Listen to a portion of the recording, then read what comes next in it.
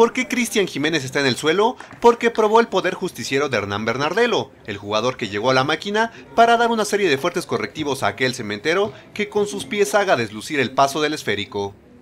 Y el contención argentino demuestra que eso de las jerarquías no lo limita. Lo sabe el mandamás celeste Cristian Jiménez, al que le llamó la atención una y otra vez, hasta que no aguantó más y de plano le aplicó una buena dotación de coscorrones.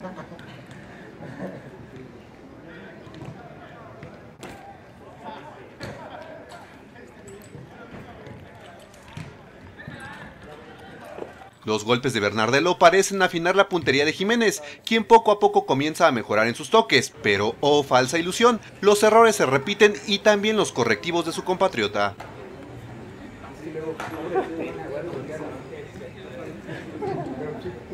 El Chaco ya no ve lo duro sino lo tupido con Hernán, por eso formula un plan para hacerlo fallar. Sin embargo, las cosas le salen completamente al revés.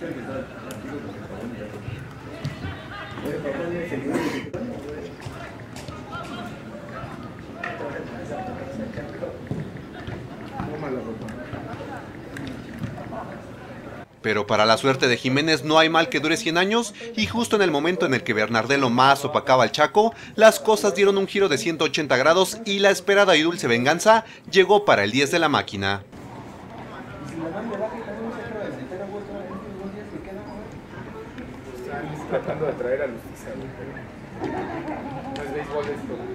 Y aunque Bernardelo gesticulaba y hacía ademanes para pedir clemencia culpando a los demás, tuvo que aguantar la pesada mano de Jiménez que por fin veía su suerte mejorar.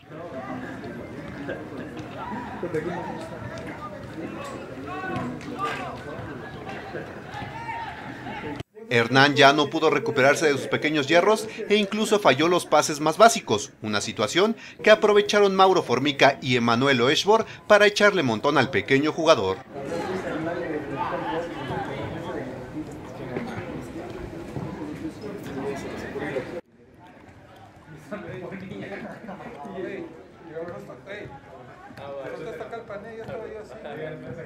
Era el karma manifestándose en su máxima expresión. Ahora Bernardelo tenía que soportar una y otra vez al incómodo Chaco, aunque para su suerte, la práctica terminó y Hernán emprendió de inmediato la huida.